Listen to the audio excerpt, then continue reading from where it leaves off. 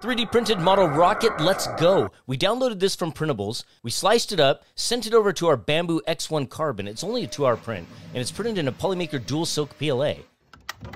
Listen. Let's throw an engine in it, screw the end cap on. It's absolutely gorgeous. Let's launch. Three, two, one. Whoa! Can you believe that's only two hours print time on that Bambu X1 Carbon?